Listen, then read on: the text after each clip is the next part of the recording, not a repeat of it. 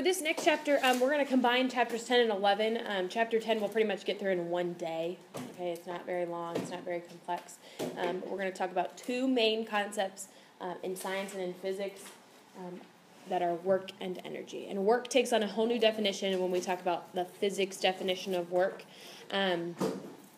But energy is one of the most, like maybe the main concept in science, and so we're going to look at how it applies um, to the physical world, and we're going to look at the conservation of energy, all that kind of stuff. Um, but two main topics today. Okay, so this chapter we're going to look at energy, um, and we've already looked at momentum, right? What was the main equation for momentum? Does anyone remember? P equals mv. Good. Okay. Momentum equals mass times velocity. Um, we're also going to look at energy now. So we've looked at momentum and we knew that it was conserved. Energy will also be conserved. What does it mean for a quantity um, to be conserved? What does that mean? Yeah, the amount of energy stays the same. Uh, it doesn't necessarily mean that the amount of all right, um, so conservation means that it's not created or destroyed. So when we talk about energy, it might not be necessarily just the energy of one thing doesn't change, but it means the energy of the whole system is not changing. So what's it called when um, energy is like changing forms? Or where do we see energy um, taking a change in form?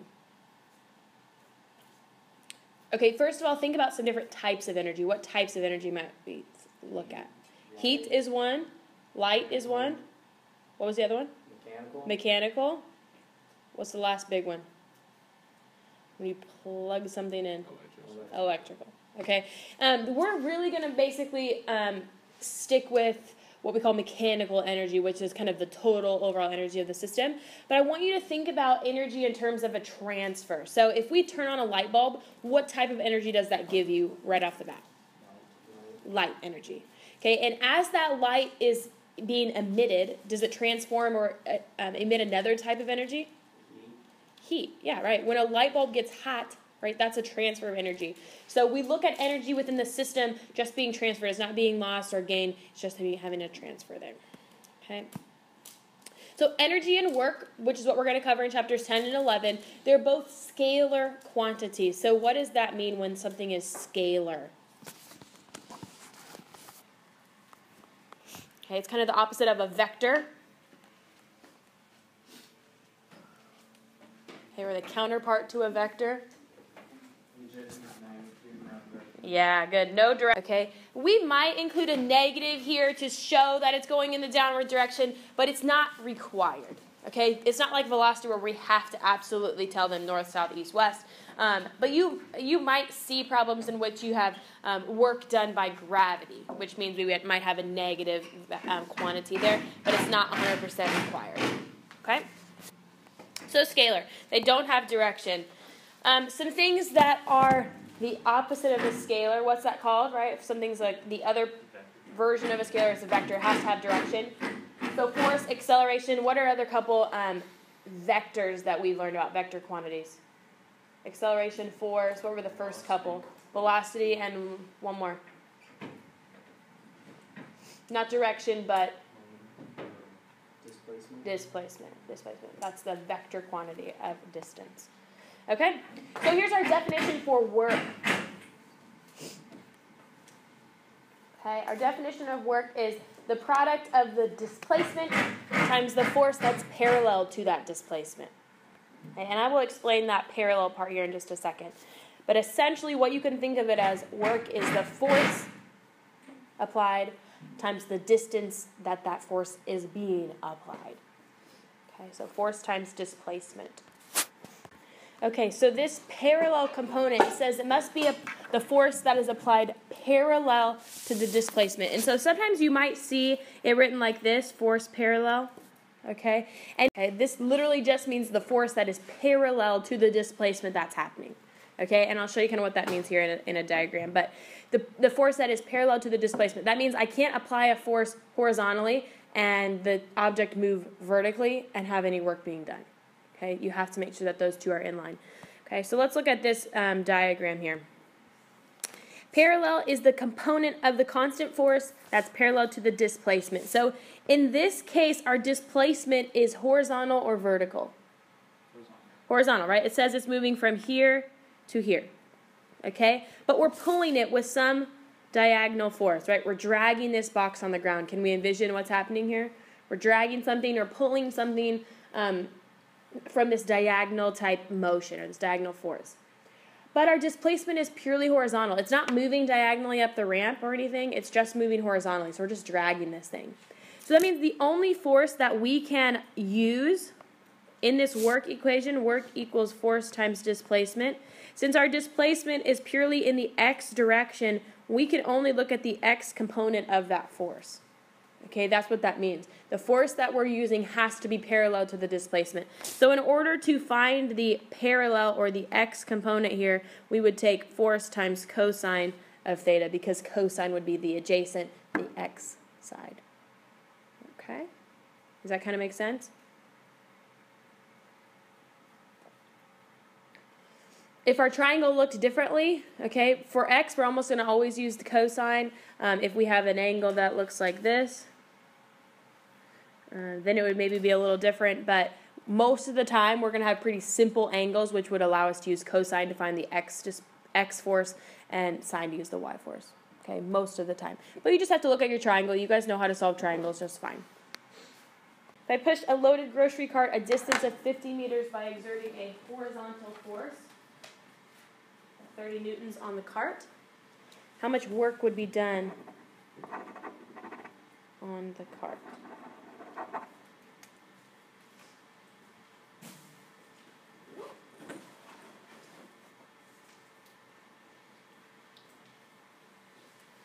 So as I push my shopping cart, what's the displacement going to be? Does it does the cart go vertical or horizontal or what?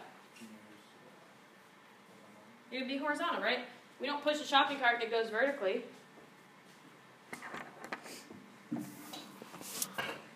Okay, so here's my cart.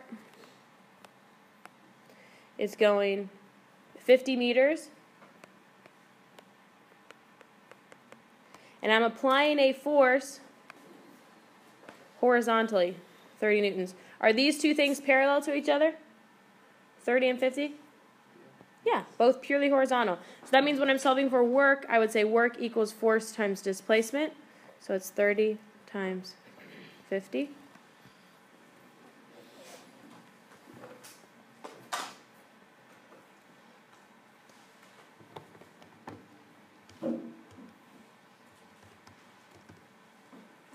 Okay, and if I took these um, two units and multiplied them by each other, what would my units come out to be? Newtons times meters should give me Newton meters. Okay. Any questions there? Pretty simple, right? Okay. Um, the unit for work or a Newton meter is called a joule. Joule. Okay. Mm-hmm. It was just explaining how we did that. Oh yeah, sorry.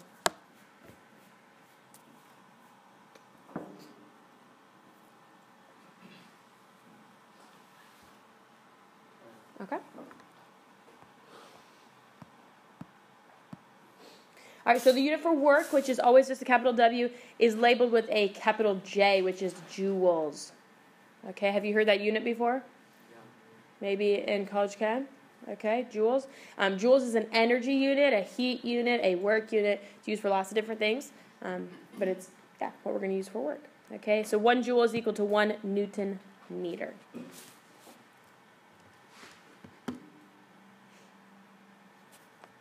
I'm going to give you about two or three minutes to think about these questions and talk about them, and then we are going to address um, the answers. Can a force be exerted on an object, yet no work be done? What work is done on an object that is carried as you walk at constant velocity? Okay, so go ahead and take a couple minutes with the partner next to you and discuss, and we will see what we come up with. Can a force be exerted on an object, yet no work be done? Is that true or false? True. That's true. That's true. A force on an object can be exerted yet no work be done. That is true. So the answer to that is yes. Okay, can we think of an example? You're pulling up on something? Doesn't have displacement? Yeah, good. Okay, so if I exert a force on an object and it doesn't move, that means no work is being done. Does it feel like you're exerting work?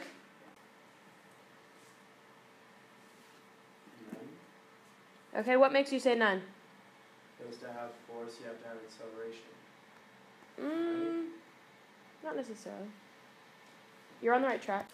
Okay, and we're going to look at these in the next couple problems. But when we solve for work, we have to be thinking about are we looking at the net work of the system? Are we looking at the work done on an object or the work done by an object? Okay, so those are two things that we needed to take into account. Are we looking at work by a specific force? Are we looking at network? Or are we looking at the work done by an object or on an object? So you have to be specific about those things. Um, take a second to get what you want to written down, and then I will explain that a little bit more. A crate is pulled 40 meters along a horizontal floor by a force of 100 newtons, exerted at 37 degrees. The floor exerts a frictional force of 50 newtons. Determine the work done on the crate. Okay, this big long arrow here, this force arrow, that's really not a force. It's just kind of showing us that it's going to end up at that second spot. Okay, so that's not part of our free body diagram.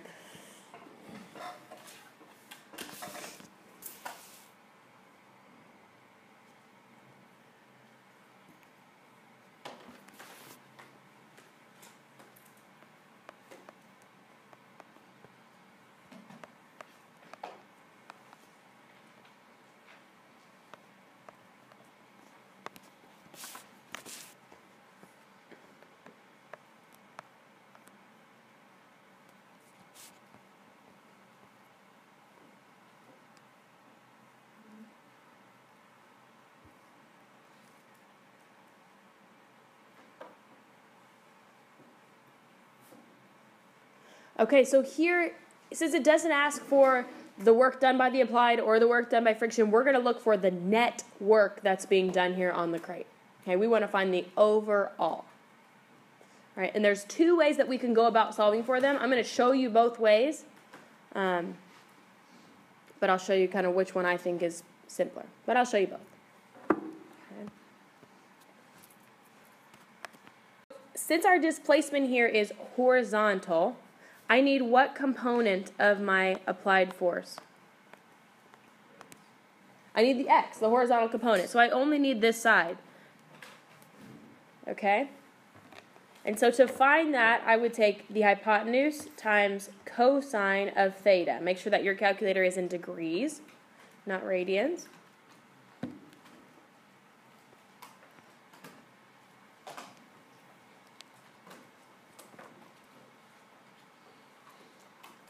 Okay, and that gives me what value for my x component? 79.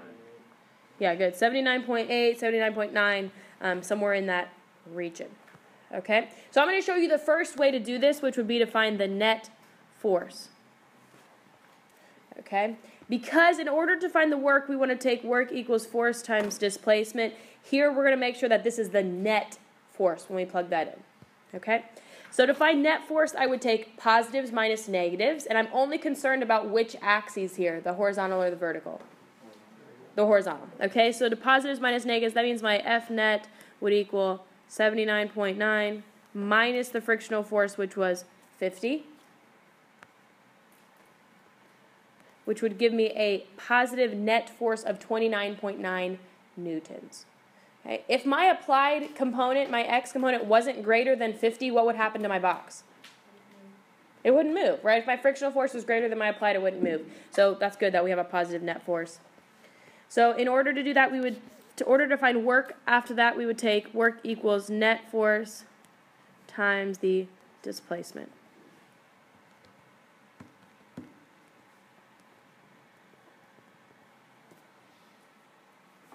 Okay, remember work as in joules. All right, and I'm going to quickly show you the alternate way to do that, which is very similar, but works either way. Okay, and the way we would do that is we would find the work done by the applied force by taking 79.9 times 40. Right, this would be force applied or force X times displacement.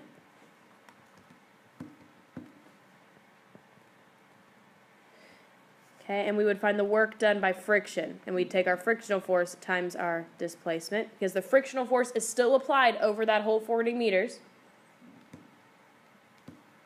which was 2,000 joules.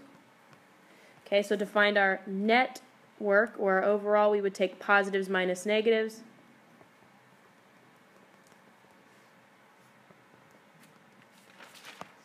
Okay, and those two values are the same. Okay, so it makes no difference the way you want to do that. Okay, algebraically it works out the same. Um, conceptually it should work out the same. We're just thinking about the net force or the different types of work. Okay, does that make sense? I usually will go with this method. Okay, go with the net force. I think that's a little simpler and you're just doing one little less step of math kind of. But okay, either way will work just fine.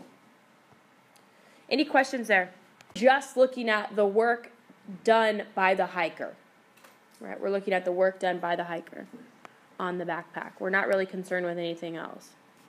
Okay, so not at this point we're not looking for the net work on the backpack. We're just looking at the work that's done by the hiker to do that. Okay, so here's the hill that he's carrying up. Here's our backpack. It ends up at the top of the hill up here. Do we care what this what this length of the slope was?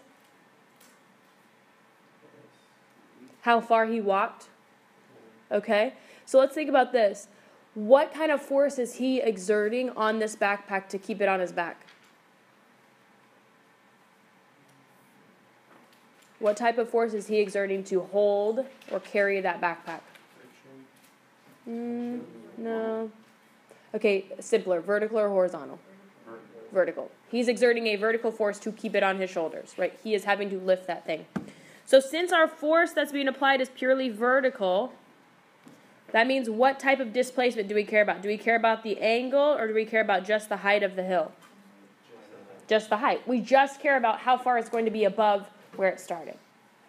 Okay, that's it. Okay?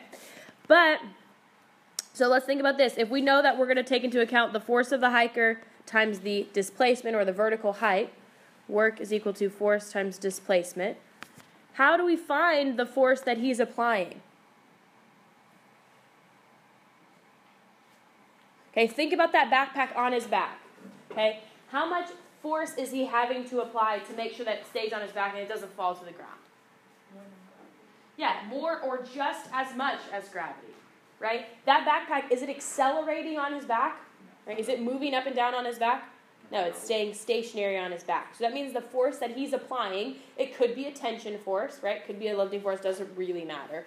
But the force that he's applying is just enough to overcome gravity, which means these two forces have to be equal to each other. Okay, so the force that he's applying on that backpack to keep it on his back has to be equal to gravity. So we could find that by taking mass times what? 9.8.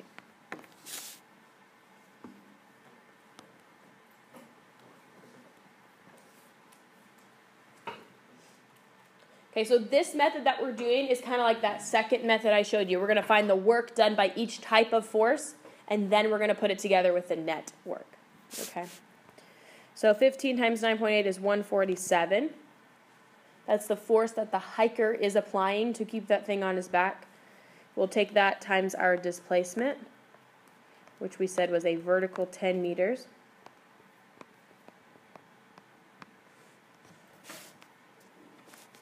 1,470 joules. So this is just the work done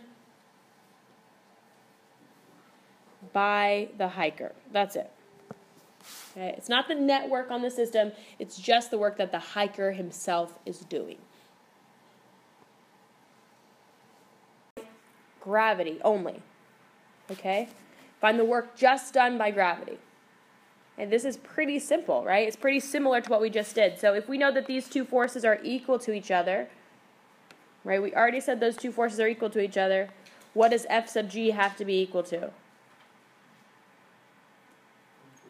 Yeah, 147. It's still 15 times 9.8. Okay, we already said these two things are equal to each other. Doesn't gravity work the whole time that he is hiking up that 10 meter hill? Yeah, so that means our work is still going to be 147 times 10.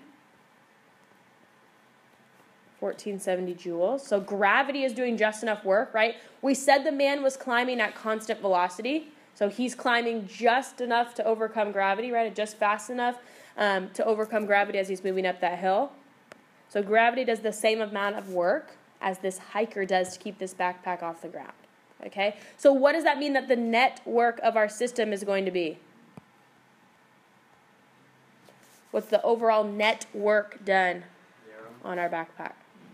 Right? If we take F net equals positives minus negatives, okay, our right? Um, work done by the hiker minus work done by gravity. Which will be 1470 minus 1470, which is 0 joules. Okay, so the hiker feels like he's doing work, and he is. He's doing 1470 joules worth, worth of work, but gravity's doing just as much.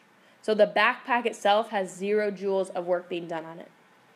Okay, and energy is one of the most important concepts that we'll cover in science, um, in any of your science classes. Um, but we're going to hit on two main types of energy.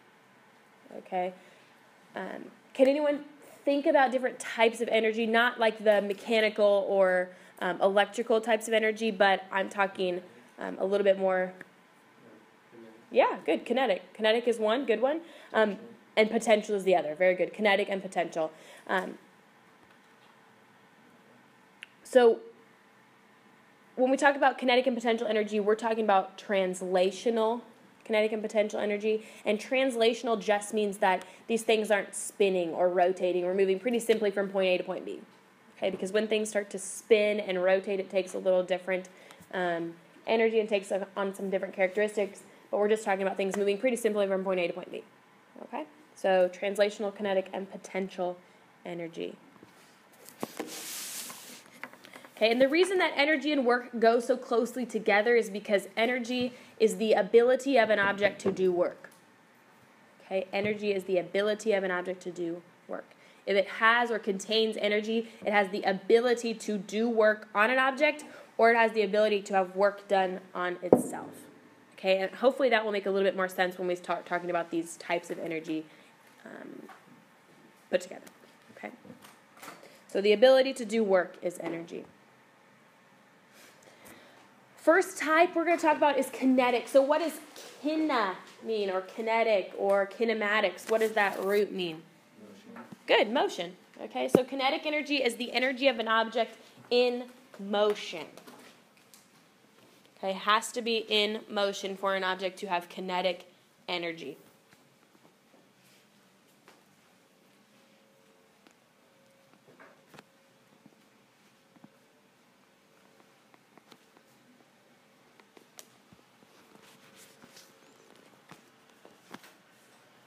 Okay, kinetic energy has the ability to be transferred. So if one object is in motion and it collides with another object that's not in motion, what happens to that second one? What? Remember we talked about this in our momentum chapter. Um, if I have an object that's moving and it collides with one at rest, what happens to this second guy? Yeah, it takes the velocity of the first one. Okay, so in these elastic collisions, we have a perfect conservation of energy. Anytime it's perfectly elastic, we'll see an object transfer all of its kinetic energy, therefore all of its momentum, to that second object. It could happen also if these two things were in motion um, already. They're still going to transfer velocities. But if we have a perfectly elastic collision, we have a perfect transfer of kinetic energy, which means nothing is lost or gained. Okay. When an object exerts a force on another, the second is moved a distance, then work has been done. So that's another example in that collision equation. One is moving, it applies a force on the other, okay, which moves at a distance. That means that work has been done or kinetic energy has been transferred. All of these topics will come together here in, in an equation pretty soon. But here's our equation for kinetic energy. Okay, this is a big one, should go on your equation sheet.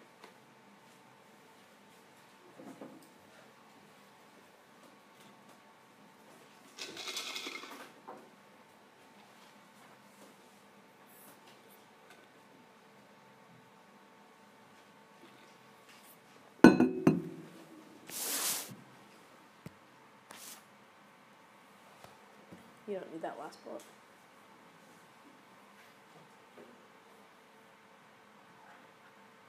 The unit for kinetic energy will be joules. Okay, energy and work both have joules as their unit, so capital J.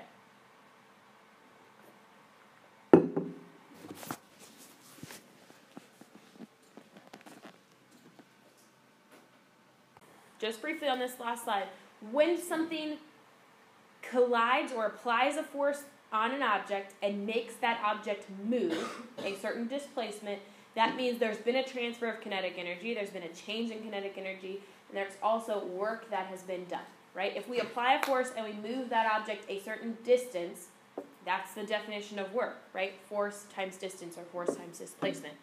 So this equation allows us to connect work and energy now. Okay? So work is is force times displacement, but it's also in general a transfer or a change in energy. Okay? So the network is also going to always going to be equal to change in kinetic energy. And what's that delta symbol mean for us? Change in good or what minus what?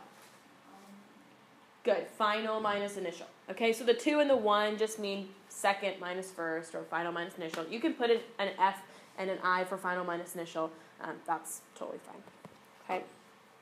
Network is equal to change in kinetic energy. You don't have to rewrite that bullet. You just need to understand what the equation is telling us. This equation right here is called the work energy principle. Okay, really original, right? Work and energy combined into one equation. It's called the work energy principle.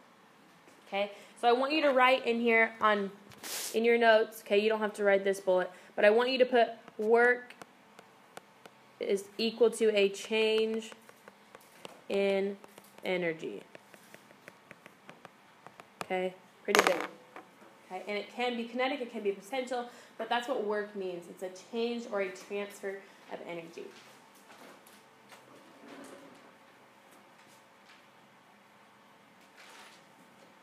Okay, this equation should go on your equation sheet. Probably the top one. If you want to write it out all the way, um, work is equal to 1 half mv squared minus 1 half mv squared. You could do that too. Up to you. Okay, this would be final and this would be initial. Okay. One version of those equations should go on your equation sheet.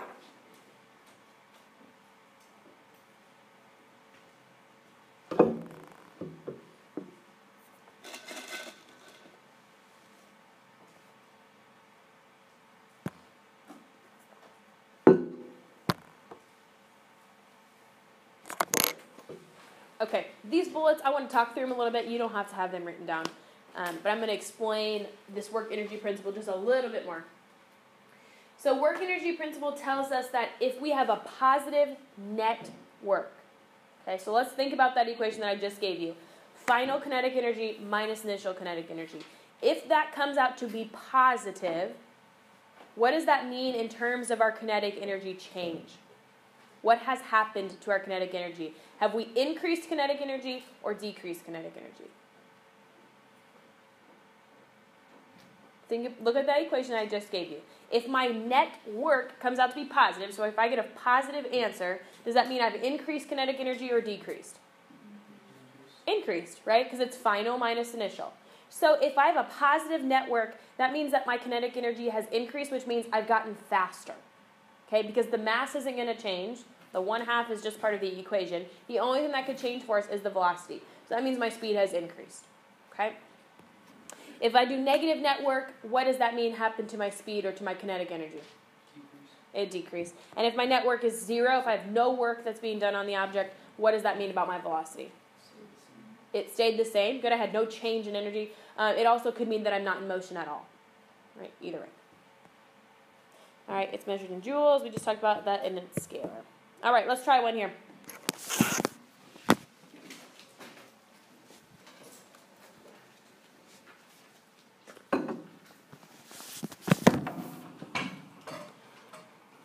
So a baseball is thrown with a speed of 25 meters per second. What's its kinetic energy? So this is the first part of the question.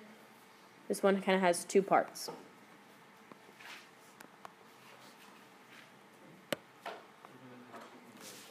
Yeah, good catch. Okay. First thing we should be seeing there is that mass is in grams, which we don't like. Okay, so we'll need to convert that to kilograms, which means we would divide by a thousand or multiply by a thousand. Divide, good. So that would make it point one four five kilograms.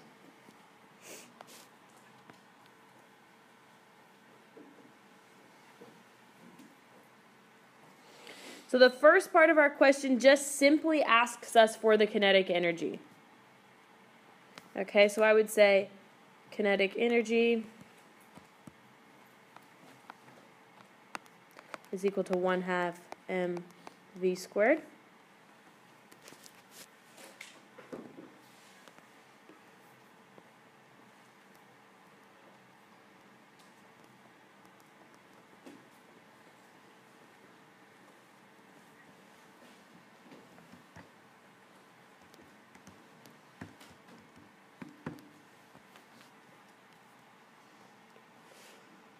Okay, a lot of you will forget this squared. I'm just telling you. Okay, so point that out on your equation sheet. Make sure you've like you know really go over that square so you don't forget it. Uh, but I ended up with um, Matt. What'd you have? Ninety point sixty-five. Uh, did you forget the one half? Okay, because I had about exactly half that.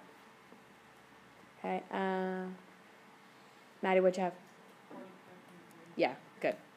45.3 joules. Okay? Did you get it to come out, Matt?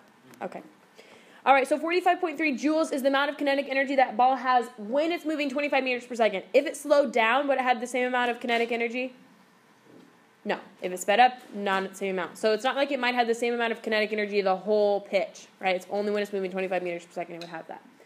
Okay, so second part, how much work was done on the ball to make it reach this speed if it started from rest? Okay, so that makes now this our velocity final. Our initial velocity was zero. Okay, so now we're going to plug into our work energy principle, which is change in kinetic energy. Okay, which is 1 half mv squared minus 1 half mv squared, right? This is initial, this is final. Okay, we already calculated that whole kinetic energy right there.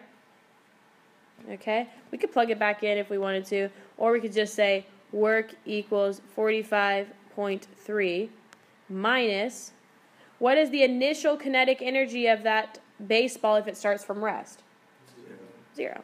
Okay, so that means we also did 45.3 joules of work. Okay. How much work is required to accelerate a 1,000 kilogram car from 20 meters per second to 30 meters per second?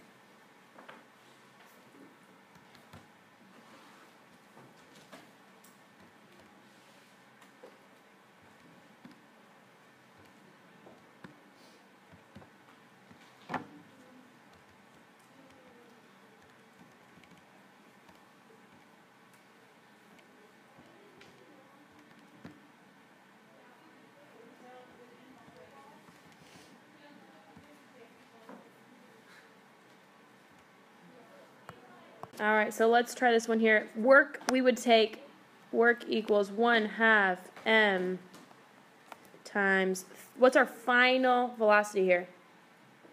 20 or 30? Thirty. 30. So we go 30 squared minus 1 half times 1,000 minus 20 squared.